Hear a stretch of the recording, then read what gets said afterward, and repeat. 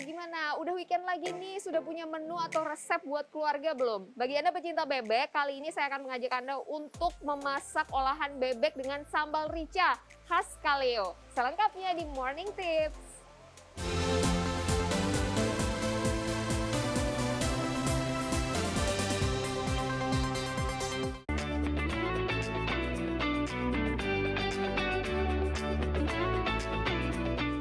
Dan sekarang saya sudah bersama dengan Mas Gustaf selaku penanggung jawab produk dari Bebek Kaleo. Nah, nanti Mas Gustaf nih yang akan kasih tahu kita resepnya apa aja, bahan-bahannya apa aja untuk buat bebek sambal rica ya, Mas ya. Betul. Oke, kalau kita lihat di sini bumbu-bumbunya udah ada bawang merah, bawang putih, ini ada daun salam, betul? Ini daun apa ya, Mas ya? Daun melinjo. Daun melinjo yang buat sayur asam itu. Betul, kita pakai di sini. Ini untuk sambal. Betul, karena memang selain rasa, aroma Hah? juga mem- menahan rasa sambalnya biar long life pedesnya. Untuk rasa sendiri kalau daun melinjo gimana tuh dia? Kalau udah Rasanya, disambal. Kalau udah disambal jadi ngebantu lebih ke flavor jadi pedes banget sih. Jadi Seperti- pedas banget. Iya, kayak gitu. Baru tahu saya. Ini ada daun bawang Daun ya. bawang.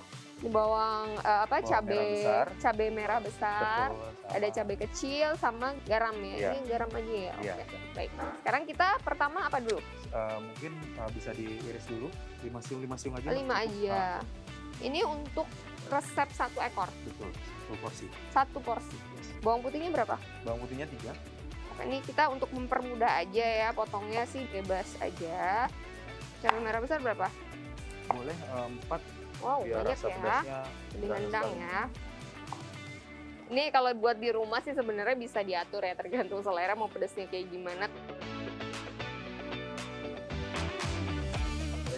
Oke. Ini kita pakai air seperti biasa, secukupnya aja. Hmm.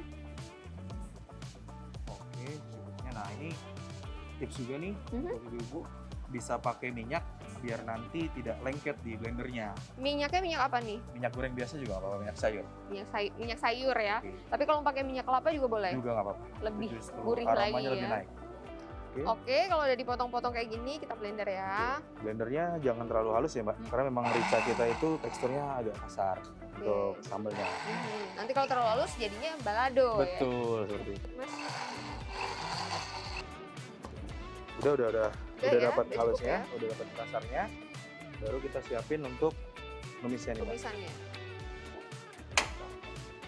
Uh, aroma pedasnya, teksturnya itu kayak gini ya. Jadi kalau dimakan tuh masih ada crunchy crunchynya gitu ya, masih ada teksturnya gitu ya. Ada bawang merah, bawang putih, cabenya juga.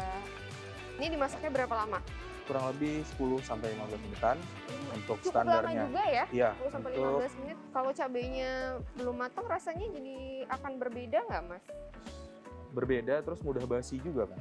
Oh, jadi supaya dia awet disimpan juga memang harus benar-benar Betul. matang. Oke. Nah, kita masukin daun salamnya mbak. Oh, ini langsung masuk Ah, langsung berapa? masukin dua saja untuk aromanya biar kuat. Daun salam masuk. Daun melinjonya kapan?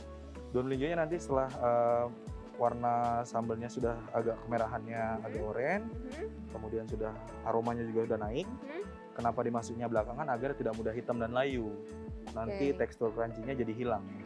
Oke, nah ini sudah kurang lebih 5 menitan ya dimasak. Sekarang boleh kita masukin daun melinjonya. Semuanya, Mas? Boleh? Semuanya ya.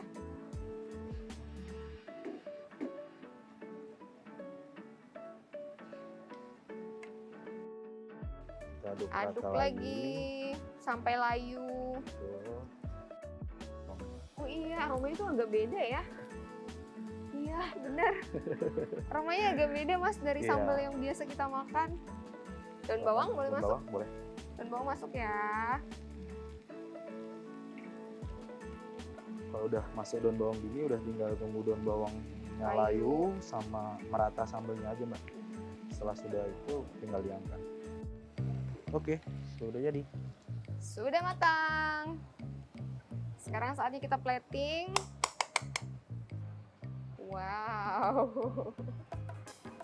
Nyam nyam nyam. Wah mantap nih buat makan siang mas. Wah, sekali. Jadi ini dia bebek kaleo sambal rica ala Maya dan juga Mas Gustaf. Oke, silahkan dicoba.